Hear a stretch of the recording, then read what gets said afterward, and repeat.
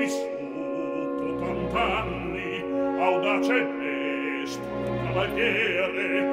per essere portato in un canestro citato al canale coi panini di viechi, come si fa coi gatti e i caperini ciechi. Che sono galleggiata per me queste patrozie certo affogato Damn